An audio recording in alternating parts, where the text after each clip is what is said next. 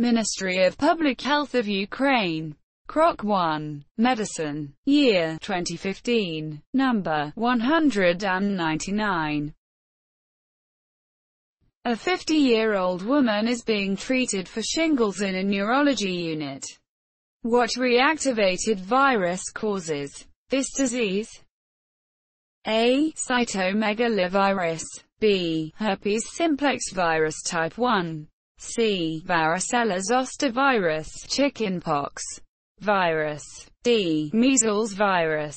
E. Herpes simplex virus type 2.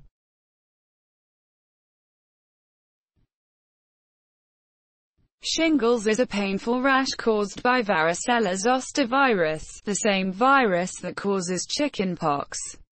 Although it can occur anywhere on the body, it most often appears as a single stripe of blisters that wraps around either the left or right side of the torso. The answer is C. Varicella zoster virus, chickenpox virus.